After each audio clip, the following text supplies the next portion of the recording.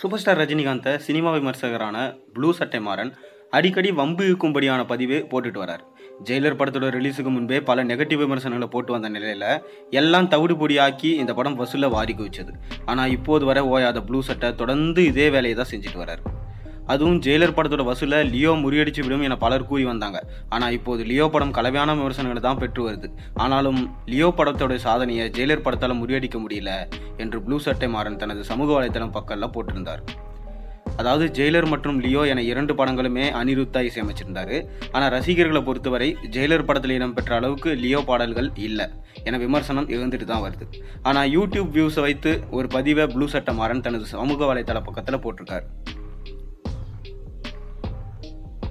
அதாவது லியோ படத்தில் இடம்பெற்ற நான் ரெடி பாடல் கிட்டத்தட்ட நூற்றி எழுபத்தி எட்டு மில்லியன் பார்வையாளர்களை தாண்டி கொண்டு போயிட்டுருக்கு. ஆனால் ஜெயிலர் படத்தில் இடம்பெற்ற பாடல்கள் லியோ படத்துடைய சாதனையை முறியடிக்க முடியாமல் திணறிட்டு வருதான் அந்த வகையில் காவாலா பாடல் நூற்றி ஒரு மில்லியன் மற்றும் ஹுக்கும் பாடல் எண்பத்தெட்டு மில்லியன் பார்வையாளர்களை பெற்றிருக்கு. இந்நிலையில் நான் ரெடி லிரிக் வீடியோ பாடல் மட்டும்தான் முதலிடத்தில் இருக்கு. மேலும் காவாலா பாடல் அதிக பார்வையாளர்களை பெற காரணம் தமன்னாவால தான். தலைவரோட பில்டப் பாடலான உக்கும் வெறும் எண்பத்தெட்டு மில்லியன் மட்டுமே இருக்கு. என ப்ளூ சட்டை மாறன் நையாண்டியா கிண்டல் பண்ணியிருக்காரு. இதன் மூலம் பருந்து பறக்கல தவறுது என்பது தெல்ல தெளிவாக தெரியுதுன்னு சொல்லிட்டு ப்ளூ சட்டை மாறன் வேடிக்கையாக ஒரு பதிவு போட்டிருக்காரு. இதை பார்த்த ரஜினி ரசிகர்கள் இப்போது கடுப்பாகி ப்ளூ சட்டை மாறனை வறுத்தெடுத்துட்டு வராங்க. லியோ வசூல் திணறுவதை வைத்தே தெரியலையா? எப்போதுமே தலைவர் தான் முதலிடம் என ரஜினியோட ரசிகர்கள் எல்லாருமே பார்த்தீங்கன்னா கமெண்ட் செஞ்சுட்டு வராங்க.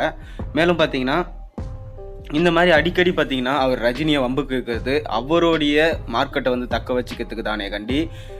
ஒரு ஒரு விமர்சனத்தை வந்து பாசிட்டிவாக பண்ணலாம் இல்லை நெகட்டிவாக பண்ணலாம். பாசிட்டிவாக பண்ணும்போது அது ரீச் வந்து கம்மியாக இருக்கும். பட் நெகட்டிவாக பண்ணும்போது தான் என்ன தான் பண்ணியிருக்காங்கன்னு சொல்லிட்டு ஒருத்தர் பார்க்க ஆரம்பிப்பாங்க.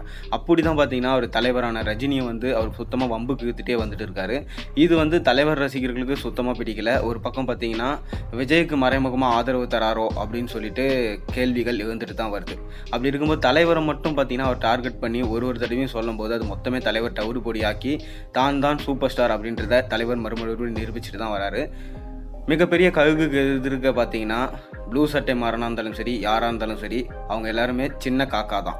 அப்படின்றது எப்போவுமே வந்து நிதர்சனமான உண்மை தான் கழுகு கழுகு தான்றதை ரஜினி எப்பயும் ப்ரூவ் பண்ணிட்டு தான் வந்துன்னு இருக்காரு அது அவர் நிரூபிக்கணும்னு அவசியம் இல்லை எல்லாருக்கும் அது தெரியும். உங்கள் கருத்து என்னன்றதை மறக்காமல் கீழே கமெண்ட்டில் சொல்லுங்கள் ஒரு சேனலில் போகிற ஒரு வீடியோஸ் முடிச்சா சப்ஸ்கிரைப் பண்ணுங்கள் லைக் பண்ணுங்கள் பெல்லைக்கான ப்ரெஸ் பண்ணுங்கள் அப்போ நான் போகிற வீடியோஸ் நோட்டிஃபிகேஷன் உங்களுக்கு வந்து சேரும்.